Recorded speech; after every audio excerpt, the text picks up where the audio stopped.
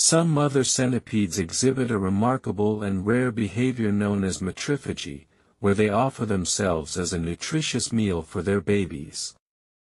This selfless act ensures the survival and growth of their offspring, providing them with essential nutrients. Matriphagy is a unique reproductive strategy observed in certain arthropod species, showcasing the incredible diversity of maternal care in the natural world. This behavior highlights the complex social behaviors found in some invertebrates and demonstrates the extreme measures some mothers take to ensure their genetic lineage thrives.